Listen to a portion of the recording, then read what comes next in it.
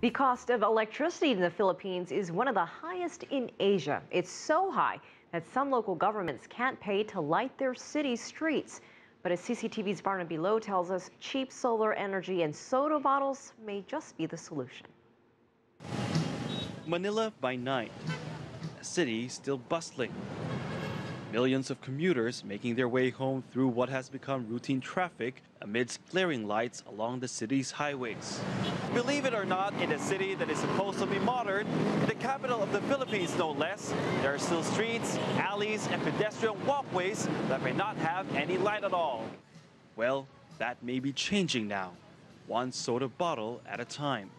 The government has been working with social entrepreneur Illac Diaz to illuminate footbridges roads, and even entire communities using solar technology and soda bottles. This one is locally available computer parts, as I said, copper boards, electronic boards, circuits.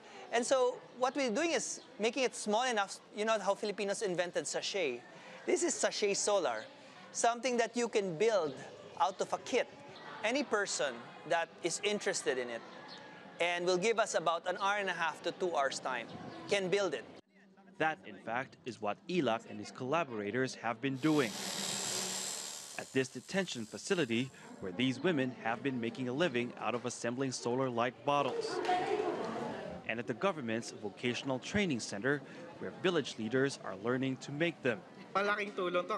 This will really benefit our people. It's energy efficient, it will help us save money, and it also helps keep the air clean. At just over 60 US dollars for each of these street lamps, putting them up is well within any local government's budget and could work just as well for any household that wants a lifetime of savings and energy efficiency. Barnaby Lo CCTV, Manila.